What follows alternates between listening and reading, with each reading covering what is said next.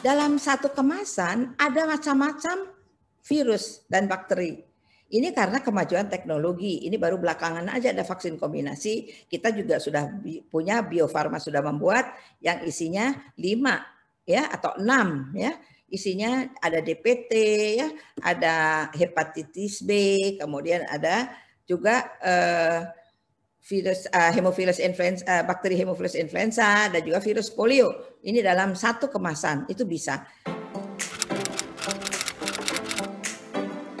Keuntungannya anak disuntik hanya satu kali udah dapat sekaligus semua dan semua akan memberikan proteksi yang bagus karena masing-masing punya memori sel sendiri-sendiri, respon imun sendiri-sendiri.